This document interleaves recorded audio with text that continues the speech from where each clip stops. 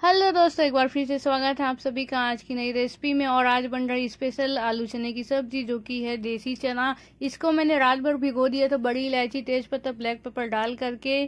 आ, इसके लिए मैंने लिए कुछ प्याज लहसुन अदरक चार टमाटर और खड़े मसाले। अब कुकर में आलू और चने को उबालने के लिए डाल देंगे। नमक डाल करके कम से कम चार से चार सीटी आने तक इसको पकाएँगे। जैसे ही चार सीटी कंप्लीट हो जाएगी, गैस को बंद कर देंगे, गैस पर कढ़ाई चढ़ाएँगे। तब तक मैंने प्याज, लहसुन, मिर्च, अदरक, इन सभी को चॉप कर लिया है क्लीन करके। अब तेल गर्म होते ही इसमें हम डाल देंगे खड़े मसाले को। खड़े मसाले को अच्छे से तेल में पकाएँगे। वो भी धीमी धीमी आँच पर फिर डाल देंगे, जो मैंने चॉप करके रखा हुआ था, प्याज, लहसुन, अदरक। इन सभी को अच्छे से फ्राई करने के बाद डाल देंगे चार टमाटर को, जो इसको भी मैंने चॉप कर लिया था।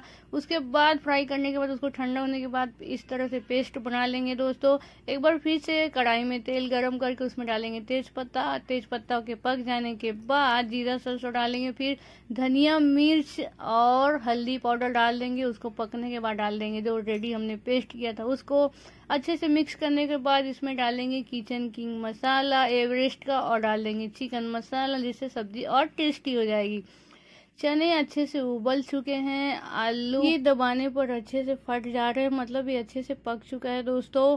अब आलू को भी मैंने क्लीन कर लिया है चने को पानी से अलग कर लिया जो पानी है उसको मैंने अलग से रख दिया उसको फेंकेंगे नहीं सब्ज़ी में डालेंगे। मसाला भी काफ़ी अच्छे से पक चुका है इसको थोड़ा देर और पकाएँगे उसके बाद इसमें डाल देंगे चने को।